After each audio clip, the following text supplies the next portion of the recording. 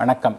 இனிவே என்ற நிகழ்ச்சியில் நம்ம இன்னைக்கு பார்க்கக்கூடிய டாபிக் இன்ஃப்ளேஷன் தமிழில் வந்து பணவீக்கம் அப்படின்னு சொல்லுவாங்க.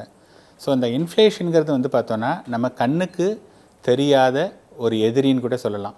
ஏன்னா நிறைய பேர் வந்து இந்த இன்ஃப்ளேஷனை வந்து கேர் பண்ணுறதே இல்லை. இன்வெஸ்ட்மெண்ட்டு பண்ணும்போது அந்த இன்ஃப்ளேஷனை கண்டிப்பாக நம்ம வந்து கன்சிடர் பண்ணணும். சே ஃபார் எக்ஸாம்பிள் இந்த பணவீக்கம் அப்படிங்கிறது வந்து ஆன் பேப்பர் அதில் என்ன சொல்கிறாங்கன்னா இன்றைக்கி வந்து இந்த வருஷம் வந்து ஆறு பெர்சன்டேஜ் ஏழு பெர்சன்டேஜ் அப்படின்னு சொல்லிட்டு கவர்மெண்ட் சொல்கிறாங்க ஆனால் ரியாலிட்டி இப்போ வந்து ஒரு ஹவுஸ் ஒய்ஃப்கிட்ட கேட்டு பார்த்தீங்கன்னா நம்ம வீட்டில் இருக்கக்கூடிய குடும்ப தலைவி அவங்கள்ட்ட கேட்டோன்னா போன வருஷம் இருபதாயிரரூபா ஃபேமிலியை ரன் பண்ண தேவைப்பட்டுச்சுன்னா குடும்ப செலவுக்கு இன்றைக்கி வந்து பார்த்தோன்னா மினிமம் இருபத்தி ரெண்டாயிரரூபா ஆகுது.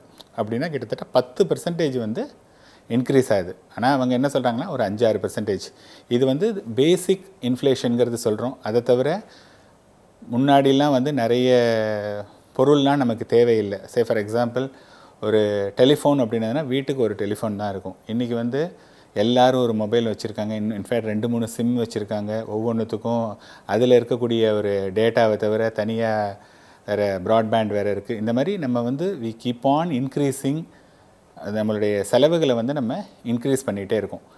அட் தே சேம் டைம் வந்து பார்த்தோம்னா இப்போ பேங்க்கில் நம்ம போடக்கூடிய பணத்துக்கு இன்றைக்கி ஒரு மூணு வருஷம் ஒருத்தர் வந்து பேங்க்கில் எஃப்டி போட்டாங்கன்னா அவங்களுக்கு கிடைக்கக்கூடிய இன்ட்ரெஸ்ட் வந்து பார்த்திங்கன்னா அஞ்சுலேருந்து அஞ்சரை பர்சன்டேஜ் அப்படின்னா என்னென்னா நம்மளோட இன்ஃப்ளேஷன் வந்து இன் ரியாலிட்டி எட்டுலேருந்து பத்து பர்சன்டேஜ் இருக்குது ஆனால் நமக்கு கிடைக்கக்கூடிய இன்ட்ரெஸ்ட் வந்து அஞ்சரை பர்சன்டேஜ் அப்படின்னா நம்ம பிரின்சிப்பில் நம்மளை அறியாமலே சாப்பிட ஆரம்பிச்சிட்டோம் அப்படிங்கிறது தான் அர்த்தம்.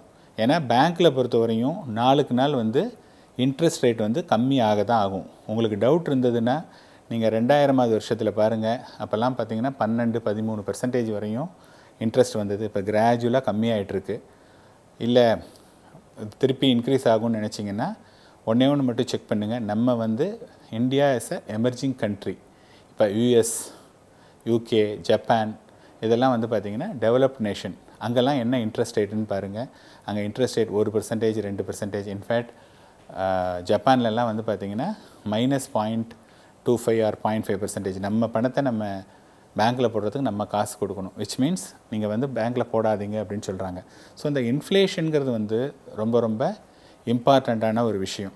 இதை வந்து நம்ம கண்கூடாக நம்ம பார்க்கலாம். ஒரு பால் விலையை எடுத்து பார்த்தீங்கன்னா ஒரு பத்து வருஷத்துக்கு முன்னாடி இருந்த இதுக்கும் இன்றைக்கும் பார்த்தீங்கன்னா எல்லாமே இந்த எட்டு பர்சன்ட்லேருந்து பத்து பர்சன்டேஜுங்கிறது வந்து வந்துகிட்டே இருக்குது இது வந்து நார்மல் இன்ஃப்ளேஷன் இதே இது வந்து பார்த்தோன்னா எஜுகேஷன் இன்ஃப்ளேஷன் இன்றைக்கி வந்து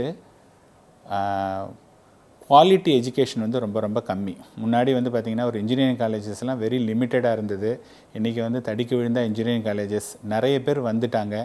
அதனால் வந்து பார்த்திங்கன்னா இப்போ குவாலிட்டி வந்து கம்மியாயிடுச்சு. But at the same time நல்ல ப்ரீமியம் இன்ஸ்டியூட்டுக்கான ப்ரைஸிங் வந்து பார்த்திங்கன்னா அது வந்து மோர் தென் டென் பர்சன்ட் அந்த இன்ஃப்ளேஷன் இருக்குது அப்போ உங்களுடைய பசங்களை வந்து நல்ல ஒரு இன்ஸ்டியூட்டில் படிக்கணும் அப்படின்னதுன்னா நீங்கள் அந்த ஏழு எட்டு பர்சன்ட் இன்ஃப்ளேஷனை வந்து எஜுகேஷனுக்கு நம்ம எடுத்துகிட்டு போகக்கூடாது அதுக்கு வந்து நம்ம பத்து பர்சன்ட் இன்ஃப்ளேஷன் எடுத்துக்கணும். சே ஃபார் எக்ஸாம்பிள் இன்றைக்கி வந்து ஒரு இன்ஜினியரிங் ஒருத்தர் நாலு வருஷம் படிக்கணும்னா மினிமம் வந்து பார்த்திங்கன்னா பதினஞ்சுலேருந்து இருபது லட்ச ரூபா தேவைப்படும். அப்போ இருபது லட்ச ரூபா நாலு வருஷத்துக்கு இன்றைக்கி தேவைப்படுதுன்னா உங்கள் பையனுக்கு இன்றைக்கி வந்து பார்த்திங்கன்னா ஒரு நாலு வயசு தான் ஆகுதுன்னா இன்னும் ஒரு பதினாலு வருஷம் கழித்து அந்த மணி தேவைப்படுது.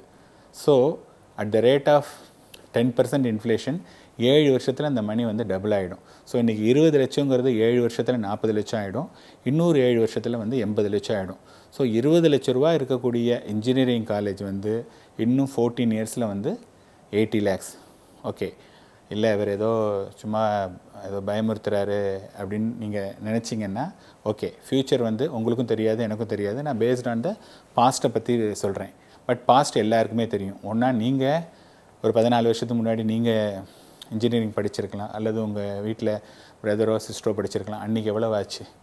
இன்றைக்கி இருபது லட்சம்னா இன்றைக்கி பார்த்தீங்கன்னா ரெண்டு மூணு லட்ச ரூபா கூட ஆயிருந்திருக்காது அது ஆனால் இன்றைக்கி இவ்வளோ தூரம் இன்க்ரீஸ் ஆகிடுச்சு ஸோ இந்த இன்ஃப்ளேஷனுங்கிறது வந்து நம்ம அதுலேருந்து தப்பிக்கவே முடியாது. அப்போ நம்ம என்ன பண்ணணும்னா நம்ம எதில் முதலீடு பண்ணாலும் அதை இன்ஃப்ளேஷனை பீட் பண்ணுற மாதிரி இன்வெஸ்ட்மெண்ட் இருக்கா அப்படின்னு பார்த்தீங்கன்னா ஃபிக்ஸட் டெபாசிட் கண்டிப்பாக இன்ஃப்ளேஷனை பீட் பண்ணாது.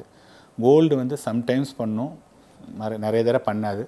Or almost equal to inflation மாதிரி கோல்டு எடுத்துக்கலாம். ரியல் எஸ்டேட்டும் நிறைய கொடுக்கும் சம்டைம்ஸ் அதில் வந்து என்ன ப்ராப்ளம்னா லிக்விடிட்டி இஸ் த ப்ராப்ளம் நம்ம நினச்ச போது விற்க முடியாது. அப்போ அதே சமயத்தில் ஒரு மியூச்சுவல் ஃபண்டோ அல்லது பங்கு சார்ந்த முதலீடு வந்து பார்த்திங்கன்னா மார்க்கெட்டில் இன்வெஸ்ட் பண்ணுறதுனால அங்கே வந்து டெஃபினட்டாக இன்ஃப்ளேஷனை தாண்டி உங்களுக்கு வந்து ரிட்டர்ன் கிடைக்கிறதுக்கு சான்ஸ் இருக்குது அதனால் நீங்கள் முதலீடு பண்ணுறதுக்கு முன்னாடி இன்ஃப்ளேஷனை கருத்தில் கொண்டு நீங்கள் வந்து கண்டிப்பாக இன்ஃப்ளேஷன் பண்ணணும். மணி வந்து சேஃப்டி மட்டும் இம்பார்ட்டன்ட் கிடையாது. அது இன்ஃப்ளேஷனை பீட் பண்ணலன்னா அந்த சேஃப்டினால் எந்த பிரயோஜனமே கிடையாது. நன்றி வணக்கம்.